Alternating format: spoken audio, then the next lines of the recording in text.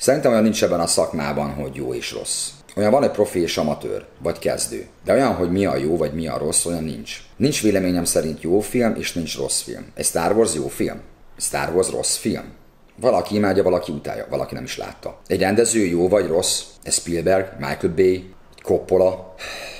Tehát szerintem egy vágónál is ez van. És most nem beszélek pályakezdőkről, mert nem tudok. Tehát aki pályakezdő, annak először meg kell tanulni a szakmát. Azokról beszéljünk, akik már űzik a szakmát egy ideje, van egy bizonyos referenciájuk, tapasztalatuk, tudásuk, stílusuk, látásmódjuk. Legyen az vágó, koloriszt, animátor, operatőr, grafikus, rendező, zeneszerző például, néha mellé nyúlnak, vagy néha nem érzik úgy az anyagot. Te sem, és én sem kelünk fel minden nap ugyanolyan hangulatban. Néha bal, néha jobb lábbal, néha középsővel. De neked a dolgod rendezőként azt, hogy átad a projektet, a feladatot, a konkrét elvárásokat, akár a vágódnak, animátorodnak. Te dolgod az, hogy kihoz belőle a legjobbat. Érezze a projekt fontosságát, súlyát, a konkrét feladatot. Van olyan animátorom, aki dolgozik sok rendezővel, és igen, volt, hogy ő mondta, hogy vannak olyan rendezők, vannak olyan gyártók, akiktől úgy kapja meg az anyagot, hogy elküldik nekik a nyersfelvételt, elküldik a, a mondjuk egy videoklipnek, vagy reklámfilmnek, ide kell majd beleilleszteni, egy minimál scriptet kap két-három mondatban, kiegészítésként, hogy meg amit gondolsz, tedd bele ami szerinted jól néz ki. Lehet, hogy ügyes és kreatív az animátor, de azért egy kreatív és ügyes animátor is elválja, hogy a rendezőtől kapjon konkrét instrukciókat. Mit akar látni? Telebasztalintani csillibilli effektekkel? Vagy az sokannak a rendezőnek, sokannak az ügyfélnek, sok a projekt? Egy rendezőnek tudnia kell, hogy mit bír el az adott anyag. És ilyenkor átad az instrukciókat, az információkat és az elvárásaidat. Egy vágónak, egy animátornak, egy grafikusnak átadod, mert a te dolgod, te rendezőként kézben tartod az egészet, kézben kell, hogy tartsd az egészet. És szerintem neked rendezőként részben ez a dolgod. Nem csak az, hogy egy forgatáson dirigálsz, meg előtte akár kitalálsz egy sztorit, hanem az, hogy átad minden stábtagodnak azt, ami szükségeltetik, hogy ő a legjobban elvégezze a munkáját. Ez egy forgatáson igaz egy sminkesre, az operatőrödre, igaz egy színészre, egy énekesre, hogy mozogjon, átadod az információkat, ami a te fejedben, mint rendező összeállt. Mert össze kell, hogy álljon. Ha egy rendezőnek nincs teljes, kiforrott képe az adott projektről, minden szakaszáról, előkészítés, hogy fog felépülni az a történet, a forgatáson, hogy mit akar látni, képileg. Majd utómunka alatt, hogy hogy fog a felvétele összeállni egy kész, egész terméké. Ha ezt nem látja egy rendező, akkor miért rendez?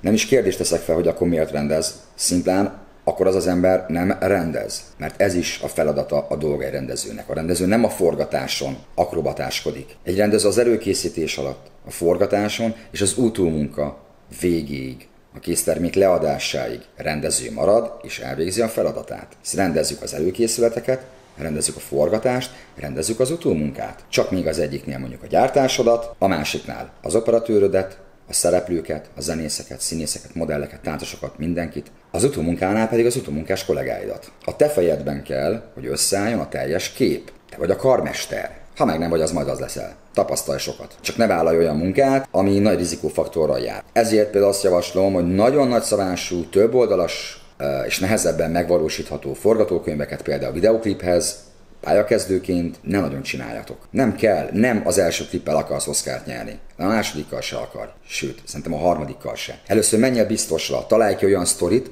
amit tudod, hogy a forgatáson a stáboddal meg fogsz tudni valósítani, illetve utómunkában is meg fogod tudni azokat csinálni vagy csináltatni, amit leírtál, amit eladtál az ügyfelednek, és egy kérdőjel sem lehet a fejedben. Biztosra kell menned, neked rendezőként tudni kell azt, hogy ezt meg tudod csinálni, vagy meg tudod csináltatni, vagy nem. Az, hogy vannak adhok dolgok, egy forgatáson ez az amaz módosul, meg utómunkában ilyen van. Ilyen a nagyjátékfilmeknél van, ilyen Hollywoodban is van. De az alapszerkezettel biztosra kell menned. Hát ismerned kell, tudnod kell, hogy azt meg tudod csinálni, vagy nem. Ezért nem akarunk úgy ügyfelet megnyerni, hogy eladjuk nekik Hollywoodot egy low budget egyforgatásnapos videoklipért, mert nem fogsz tudni egy láncidat felrobbantani, sem valóságban, nagy valószínűséggel hitelesen utómunkában sem. Ezért ezt felejtsd el. Találj ki olyat, amit meg tudsz csinálni. Aztán, ahogy telik az idő, tapasztaltabb leszel, nagyobb ügyfeleid lesznek, utána tök oké, okay, hogy növeled az egész kreatív részét egy munkának. Tudd, hogy mi a szinted, mit tudsz, és azt kezd el szépen felépíteni.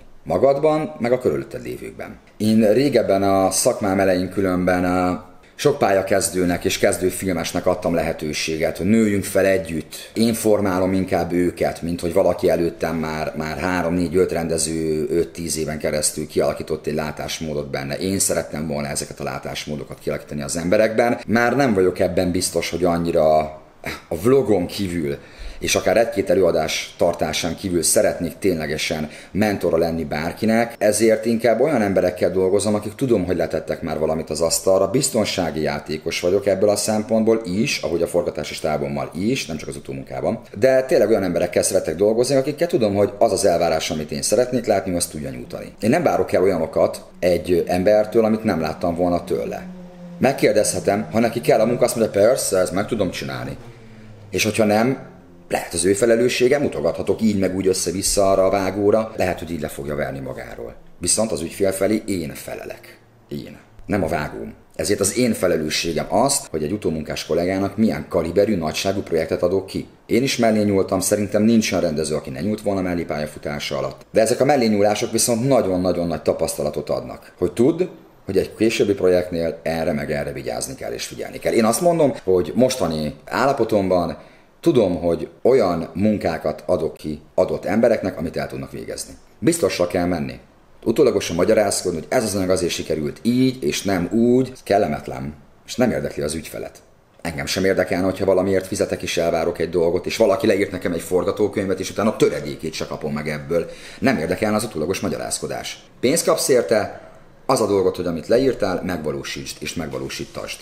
Hát akkor csináld. Ha nem megy, ne vállald el. Vagy ahogy mondtam az előbb, csökkentsd azt a fajta kreatív koncepciót, ami nem biztos, hogy biztonságosan megvalósítható. Szerintem ez egy szubjektív művészeti iparág. Tehát szubjektív is teljes mértékben kinek mi tetszik. Művészetről beszélünk, ráadásul szórakoztatunk, viszont iparág. Ah, nem ragozom a szót, ezek igazából most csak a saját gondolataim voltak, jöjjenek a kérdések. Hölgyek, urak, tényleg, amire tudok válaszolok, természetesen ez is, mint minden más, az összes kérdés válasz videóban és a vlogban felelhető gondolatok, ezek mind az én saját tapasztalataim, nem biztos, hogy mindenki így gondolja, nincs ezzel semmi baj, hisz ez is szubjektív. Ki hogy látja és hogy végzi az ipart. Én így? Szevasztok!